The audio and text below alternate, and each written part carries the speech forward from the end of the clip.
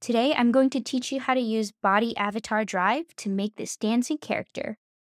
Go to sketchfab.com.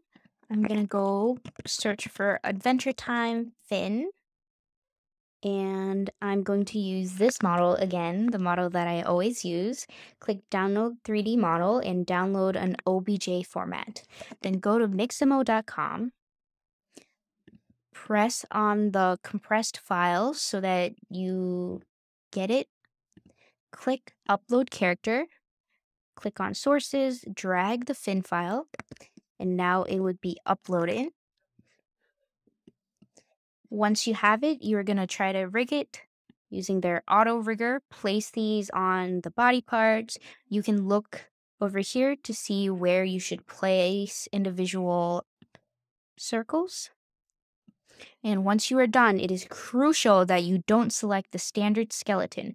The number 65 here represents the number of bones. If you select this option, Effect House will not let you import this model into the program. So you got to choose out of these three. My model doesn't have fingers, so I'm going to click no fingers with 25 bones. And then I'm going to go click next. It's going to take a couple seconds to rig.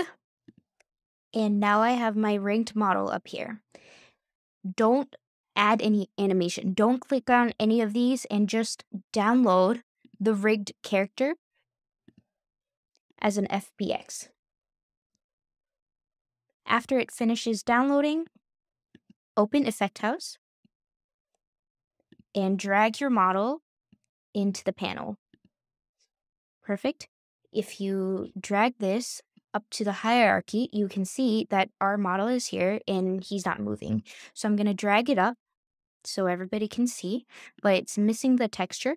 So I'm going to go back to the zip file and drag in the textures from there. And then I'm going to click Add Assets, click Materials, Unlit, click Texture On, add the textures, click on the Finn, erase the default, and I'm going to add our unlit material. Now he has color. Perfect.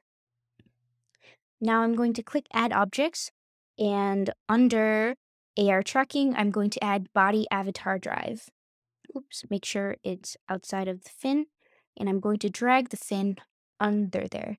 And now you can see that our little Finn is following this woman's gestures but it's quite small. So I'm going to go in here and I'm going to uncheck follow body positions. Then we can scale it up and down using this scale cursor. And we can also drag it down to match the body positions. If you just want them to be on the side like this, you can also use the scale. Later, I will teach you how to do more advanced rigging using Blender. But at the moment, this is what you can do. Thank you so much for watching the tutorial. I hope it was helpful. Have a nice day, guys. Bye.